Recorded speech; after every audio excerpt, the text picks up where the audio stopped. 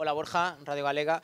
Eh, En directo un pouco unha valoración do, do partido Un partido que case tivo dous non? No, no mesmo. Primeiro esa entrada do Metalist, 0-2 por diante Despois a remontada do, do Depor. Non sei como viches un pouco en liñas serais Primeiro a entrada do teu equipo Despois a reacción.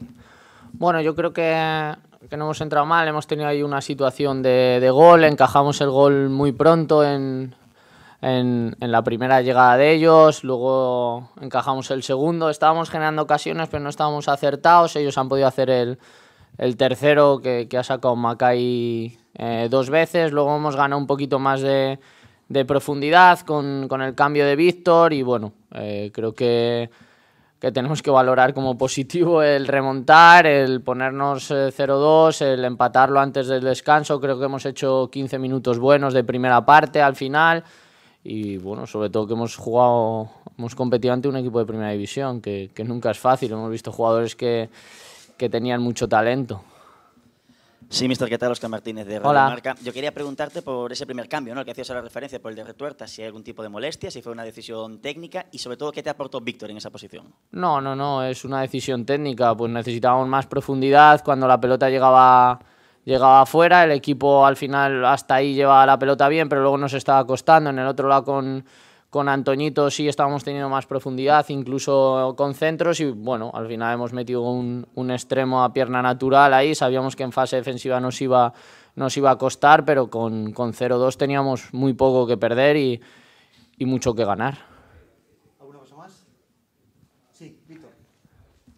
No, Víctor, Víctor.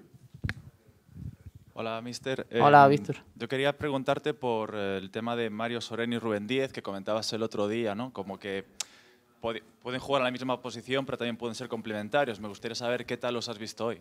Gracias. Bien, eh, Mario en la misma línea ascendente que, que tiene casi del final de, de, temporada del año pasado y Rubén adaptándose a todo lo que queremos. Creo que a partir del minuto 30 y en la primera parte hemos podido corregir un poco su posición, abrirlo un poquito más para, para que el lateral no pudiera defender a nuestro jugador de fuera.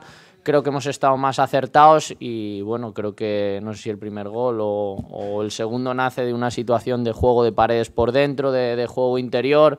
Eh, es normal que, todavía le cueste entender un poquito lo, lo que queremos, pero estamos muy contentos con su incorporación. Sí.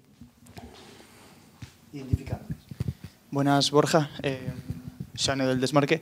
Eh, comentabas en la previa que no tenías muy claro cómo iba a ser el rival, si la prueba podía ser mejor o peor, pero al final realmente ha sido una prueba muy útil en el sentido de que, al menos cuando las fuerzas la han aguantado, el equipo cerraba con una línea de seis, había muy pocos espacios, incluso se pusieron por arriba en el marcador, que son contextos que en la liga eh, os vais a encontrar mucho.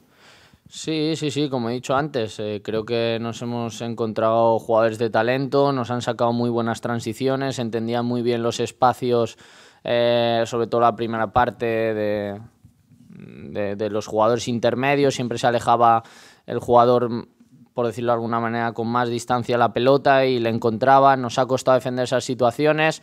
Eh, pero bueno, hemos conseguido ajustar ahí un poco por dentro la situación de juego, tener menos pérdidas, que para nosotros era fundamental para no tener que defender tantas situaciones de, transición. Y, ya te digo, contentos. Tenemos que poner en valor que hemos, hemos vuelto a ganar el, Teresa Herrera, que, hacía años que, no se conseguía, ante un equipo de, primera división, de, de Ucrania, y remontando un 0-2 que nunca es fácil. Sí, Borja, quedan 14 días exactos para empezar la liga, más allá de las dudas de si va a haber equipo rival o no va a haber equipo rival, ¿hasta qué punto crees que está tu equipo preparado ahora mismo para ese inicio de liga? Bueno, todavía nos queda, nos queda tiempo, pero yo creo que gracias a también pues que tenemos jugadores del año pasado, todo lo que hicimos el año pasado, el equipo está en un punto que, que no, no, podríamos haber llegado si, si muchos jugadores no, no hubieran estado el, el, año anterior, porque ya saben lo que queremos, de qué forma lo queremos y la verdad que, que contento. Queda, queda tiempo y todavía no, nos quedan por, por, perfilar cosas, por mejorar cosas, pero, pero bueno, esperemos eh, tener a, a, muchos jugadores recuperados y, y llegar con, con bastantes efectivos a esa primera jornada. Hablas justo del tema de jugadores recuperados. En este partido hemos vuelto a ver por fin a Trilli después de muchos meses. También volvió Granero después de esa lesión. ¿Qué tal están después de esos primeros minutos que han tenido hoy? Bien, he podido hablar poquito con ellos, pero, pero bien. Para Trilli era muy importante, como dije en la previa, volver a, a sentirse futbolista, eh, que, que, él vaya cogiendo sensaciones. Y para Borja también. Al final él hizo un esfuerzo muy grande el año pasado eh, dejando pues de lado su salud para, para estar con el equipo eh, y bueno, le ha costado pues bueno, más tiempo recuperarse de lo que hubiera sido habitual, pero le estamos agradecidos tanto el año pasado por el esfuerzo que hizo de, de estar con el equipo como, como ahora y muy contentos de que, de que ya estén de vuelta. Borja, do partido de hoxe, eh, preocupache un pouco o tema da defensa, eh, dous goles, dúas ocasións moi claras, ese troco do que falábamos antes de, Retu, é certo que son partidos para corresir, non? É para mellorar, para asustar, pero non sei se en xogadores que xa estaban o, o ano pasado se non gusta moito o, o adestrador, non? En, así. Bueno, no, nunca nos gusta encajar, es verdad que, que son dos situaciones que estamos trabajando, que, que, hay que corregir, pero es normal que los equipos te saquen eh, transiciones y lleguen a tu área en, en igualdad. Ellos ahí eran fuertes, eh, como he dicho antes, buenos jugadores y en las dos situaciones han, han anticipado bien. Es algo que, que, tenemos que seguir trabajando, mejorando, pero, pero sin obsesionarnos. O sea, lo importante es, es ganar. Sí, Borja, una de dos por uno. Por un lado, hoy ha estado Quiles completamente enchufado. Aún así, entiendo que la prioridad a nivel de incorporaciones es un delantero también, ¿no? que, dé esa, bueno, que un complemento a Quiles y que te dé más opciones. Y por otro lado, ¿sigue necesitando este Depor un central más?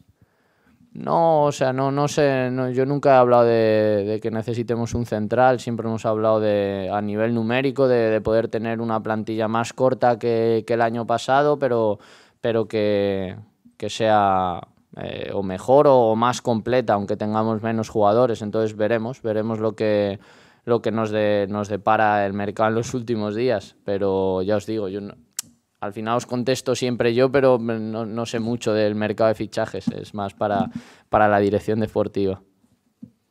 Vale. Gracias chicos, buen fin de semana.